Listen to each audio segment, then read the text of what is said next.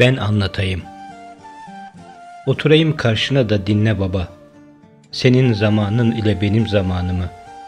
Yastan arkana, yak sigaranı, al çayını. Unutmuş herkes ana babaya saygısını. Sabah erken kalkılır, kelek ile soba yakılır. Şimdi öğlene kadar yatılır, doğal gaza geçilmiş bile baba. Ahırda hayvanlar açlıktan bağırır, bandikler giyilir, inekler sağılır. Şimdi marketlerde paket paket süt satılır, hanımlıktan ineğe öküze yaklaşan yok baba. Öğlen olmadan ocağa yemek konur, semaver 7-24 yanar. Şimdi evlerde çaydanlık kaynar, günde iki öğün yemek yeniyor baba. Pencereden bakınca komşuya bağırırdık oturup konuşmaya.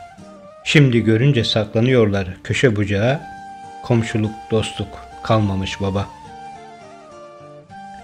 Çapa bitince komşuya geçerdik hemen. Büyük takdirdi tarladan o tarlaya geçmen.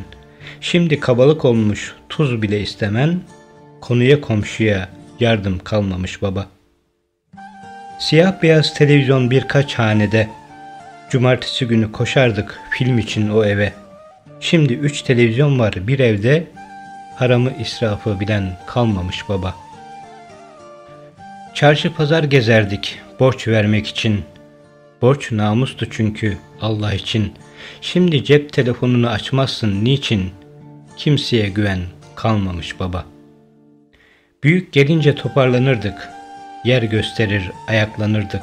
Şimdi ulu orta kanepeye yayıldık.